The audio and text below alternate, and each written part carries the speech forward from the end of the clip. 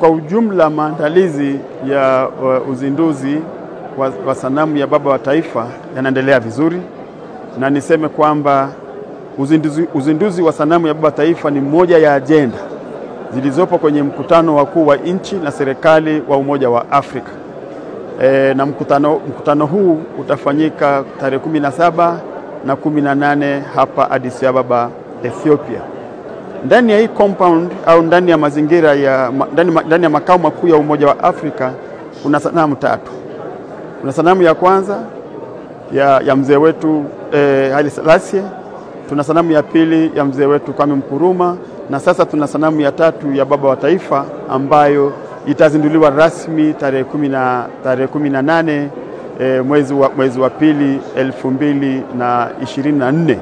na ni ratiba ambayo inahusisha wakuu wa nchi na, na serikali. Sasa hivi maandalizi yanayoendelea ni ya kawaida ya kuhakikisha kwamba zoezi zima la uzinduzi linafanyika vizuri na linakuwa la, la, la viwango na timu iliyohusika kutoka Tanzania pia imeshawasili ili kuiweka kuweka ratiba nzima katika mazingira sahihi. Kikubwa ambacho nachoweza kusema eh, ni kwamba nichukue fursa hii eh, kushukuru sana nchi za SADC kwa upendo wao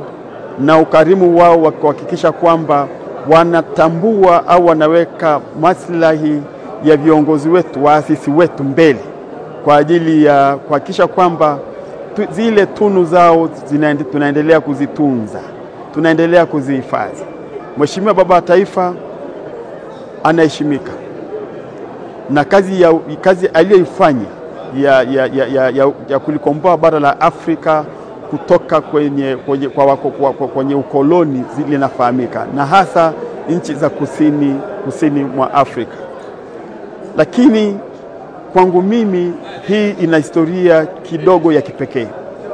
Wakati Mheshimiwa Rais Mugabe wa Zimbabwe anaanzisha ajenda ya ujenzi wa sanamu ya baba wa taifa, kwa mara ya kwanza nilikuwa kwenye ule mkutano, lakini namshukuru Mwenyezi Mungu kwamba amenipa pia fursa ya kushuhudia tukio ambalo nilishiriki au nilishuhudia tangu linaanza sasa nashuhudia kwamba linahitimishwa hapa Addis Ababa na viongozi wakuu wa nchi na serikali wa Umoja wa Afrika. Kwa hivyo kwa Tanzania tuendelee kumshukuru Mheshimiwa Rais kwa kusimamia suala hili kwa, kwa, kwa, kwa, nguvu, kwa nguvu zote, lakini pia tuwashukuru e, viongozi wakuu wa nchi za SADC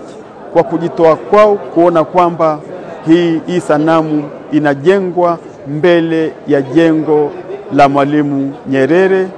ambalo linajulikana kama ni jengo la Mwalimu kwa ajili ya masuala ya, ya, ya, ya, ya, ya amani na usalama.